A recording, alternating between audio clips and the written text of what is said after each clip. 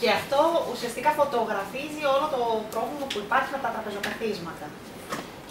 Συμφωνείς ή όχι με τους χειρισμούς που έχουν γίνει μέχρι σήμερα; Είδαμε κάποιες μετακινήσεις παιδιών, με ό,τι μπορεί να σήμαινε αυτό; Χαίρομαι που καταρχήν ανάμεσά μας είναι εδώ σήμερα ο Ξενοφώνης Βλωνά, ένας άνθρωπος ο οποίος έχει πραγματικά ασχοληθεί πάρα πολύ σοβαρά με αυτό το οποίο απασχολεί την περιοχή της Ικτίνου, δηλαδή τη διατήρηση του δημόσιου χώρου.